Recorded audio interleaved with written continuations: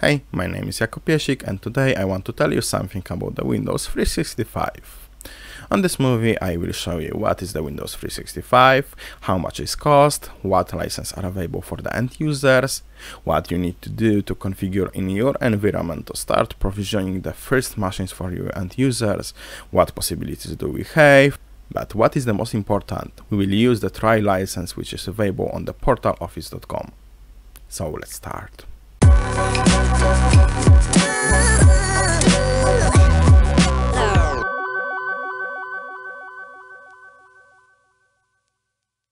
The first topic what I have on the list is the what is the Windows 365.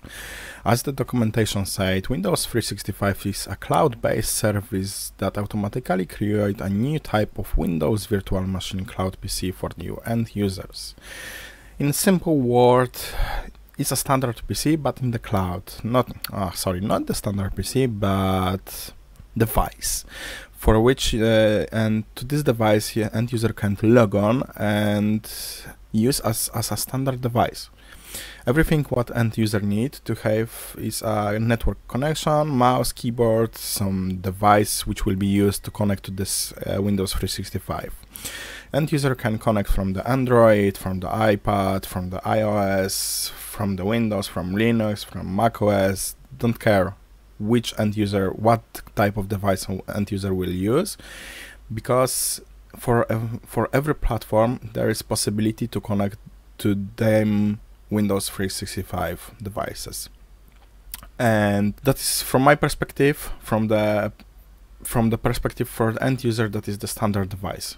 When we are on the licensing, we have a possibility to buy two types of licenses: Windows 365 Enterprise or Windows 365 Business. The main difference between the Windows 365 Enterprise and Business version because is that the Business version you can license to one, uh, 300 licenses in your organization. The Enterprise don't have that limit, but if you go to the compare Windows 365 business and enterprise, you will see information that there's more differences between those two versions. As you can see, the Windows 365 business can be joined only to the Azure AD. Enterprise can be joined to the Azure AD, Azure AD joined mm, with without VNet can be also a hybrid Azure Active Directory join. There is a possibility there is a differences in costs for the organization. There is a possibility differences between provisioning policy management. You cannot manage the windows 365 business for the enterprise intune mdm application deployment supported only if you have intune license supported by default Windows Update are uh, configured by default for users without Intune license. If user has an Intune license, those settings can be edited. If you have the Windows 365 Enterprise, uh, you can configure Windows Update, Device Manager, everything like you do for the standard device. There is much more differences between the business and enterprise and I will focus on the Windows 365, but I will show you also how to configure and how to build the Windows 365 business for your end users. If we go to the purchase services on the portal.office.com, we see enterprise and business. And if we go to the business enterprise, there's a plan to select. And as I said earlier on the introduction, there's a possibility to get a trial li license. It will be two virtual CPUs, 8 gigabytes of memory, and 120 gigabytes of SSD disk. If you select that, there's a possibility to select only one license, and you need to select the start trial. But after, but that we will do later. Uh, if we scroll below, there is a uh, there is a table with plans and pricing. The basic license is 2 virtual CPU, 4 GB of RAM and 64 GB of storage. It costs $25 per license per month.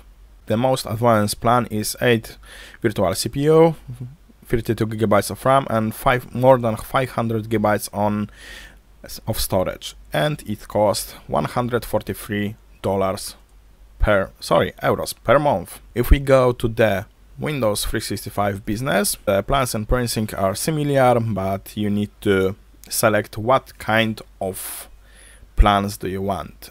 Do you want to business or enterprise? If you want to just give that devices to the end user select the business because it's much easier to configure. But if you want to configure from the beginning to the end and provision everything what you need for the for you end user like you're doing with your standard devices just select the Windows 365 Enterprise. So now we will start creating a trial machine which will be provisioned for our end user. And everything what you need to do as is select the two virtual CPUs 8 GB of RAM and click the start free trial button. On the checkout site you need to click try now button and after a while the license will be assigned to your account. To confirm that we have a proper license assigned to our account we are going to the billing your products and wait for the load list when the list will be loaded you will should you should see the Windows 365 with the trial license. And for now this license is not assigned so we will assign to the specific user. So we are opening the uh, Franek Konevka from the active user select the manage product licenses from the top scrolling bit bottom select the Windows 365 enterprise license and click the save changes button now this license is assigned to the end user and we can start with preparing the first of provisioning policy. Now we need to go back to the Microsoft Endpoint Manager, Devices, Windows 365 and as you see there is a no provisional policies for right now. And if we go to the All Cloud PC we will see what machine is not provision and the not provision user is my user which have assigned license from the couple of minutes. Now we will go to the provisioning policies tab and select the button create policy. On the name we will provide the name of the policy for the provisioning this name will be displayed for the end users on the Windows 365 portal. Description is not needed but can be useful. And now we need to select the join type, Azure Active Directory join or hybrid Azure Active Directory join.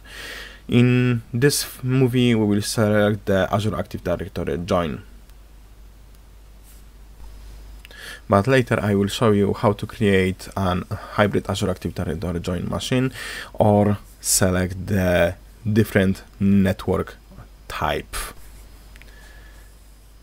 Next step is select the region. We will select the West Europe. Now we need to select the image type. This can be custom image or gallery image. On this movie we will select the gallery image because those images are pre-built by the Microsoft. And we will select the Windows 11 Enterprise with the Microsoft 365 apps.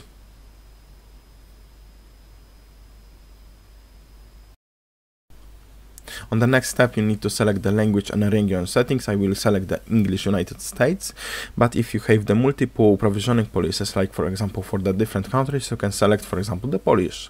The next step is select the additional services for the managing the Windows updates on the cloud PCs. You can select the known, and those updates will be managed manually, but you can select the Windows Autopatch, but on my environment I don't have configured the Windows Autopatch.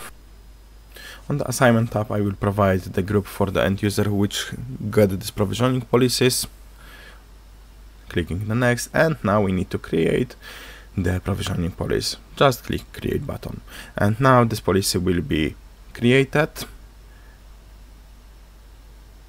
And if you go to the All Cloud PC, click the refresh button, delete the status equals not provision, and we will see that information on one machine is on the provisioning status. That will take a while and we will back to this window later. After some time the provisioning will be completed and machine will be available for end user.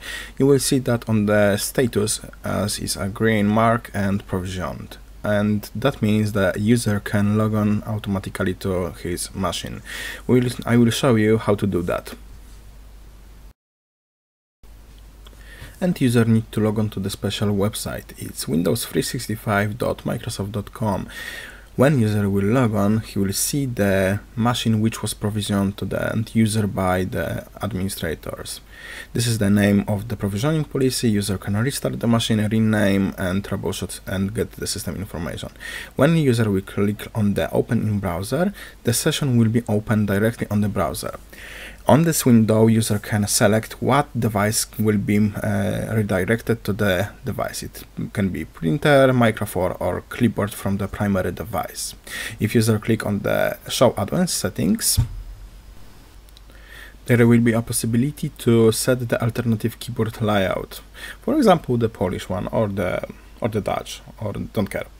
If user select the don't show again that pop up the settings will be remembered. And now the connection is established. User need to log onto the machine. And session will be opened. Now we see the standard logon screen to the machine. And on the first logon we will see the standard autopilot profile. That means there's a first phase of the autopilot I can set up, which will take a while, and every police uh, applications, etc., etc., will be deployed to the end user device.